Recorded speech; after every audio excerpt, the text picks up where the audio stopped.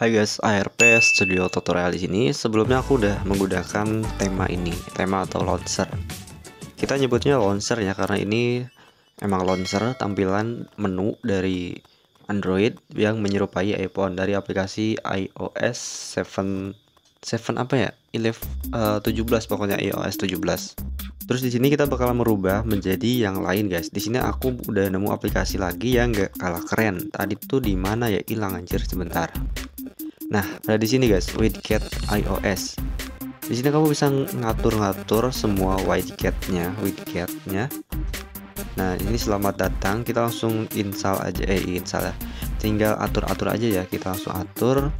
Di sini ada banyak sekali kategori, ada kalender, ada jam dan lain-lain kita mulai dari awal dulu ini paling atas biasanya tuh paling keren ya nah ini kan dari atas kayak gini bentar ini widget di atas tuh kayak gini tampilannya masih seperti Android pada umumnya.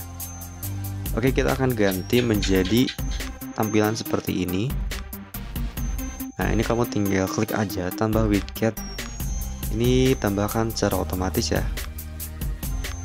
Kita klik centang lalu buat. Oke, dia sedang pembuatan. Ini udah berhasil di ini in, ditambahin ke layar uh, utama, guys. Kita lihat di layar utama ya hasilnya kayak gimana. Oh, ternyata kayak gini dan apakah ini bisa berguna beneran uh, real time atau enggak? Kita coba tes ya di bagian wifi-nya atau center deh, center. Oh, ternyata senternya nyala, cuy. Center nyala, terus kita lihat di sini uh, wifi oh langsung kebuka menu wifi nya ya ketika kita klik jadi nggak kayak di atas ini untuk wifi itu kalau di sini kan dia langsung mati atau hidup. Kalau di widget ini dia tuh terbuka ke sini ya masuk ke sini ke pengaturan langsung. Lalu untuk baterai kita lihat di sini 70% dia ketika diklik masuk ke pengaturan baterai jamnya kita lihat juga masuk ke tanggal waktu. Oke jadi ini tuh secara keseluruhan dia akan masuk ke menu yang dikliknya ya jadi ke pengaturan kita ganti widget yang lain nyobain widget yang lain. Apakah bagus juga atau enggak kita lihat di sini? Oh ternyata ada X panel juga guys. Ada X panel yang seperti ini. Ini kamu tinggal pilih aja ya yang paling uh, berguna tuh yang mana. Kita lihat di ini ya yang kotak ini. Nah di sini kamu bisa tambahin widget. Oh ini ada ukurannya juga nih. SML kita bikin yang L aja yang gede tambah widget tambahkan. Oke udah pemuatan dan berhasil.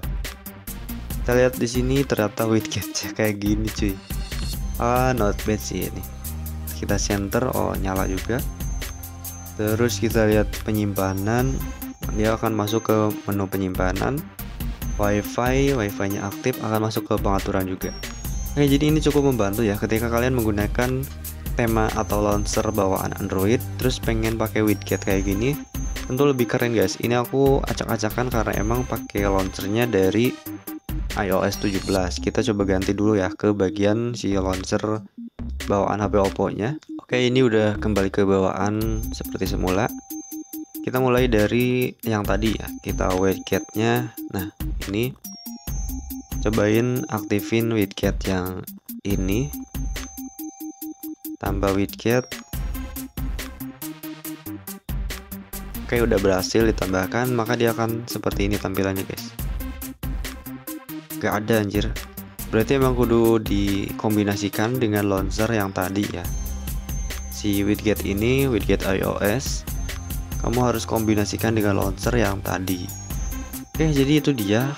Untuk launchernya kamu bisa cari di Playstore cari aja iOS 17 nanti akan nemu dari ini guys aku tadi pakai dari Gen Z apps Gen Z kayak gini ya dan ini simpel banget penggunaannya tinggal diinstal terus dia otomatis mengatur sendiri di Android Terus nanti kalau ada pertanyaan tetapkan sebagai default langsung aja aktifkan. Seperti udah aku bahas di video sebelumnya juga. Oke sampai jumpa di video selanjutnya ya. Kalau masih ada pertanyaan komen.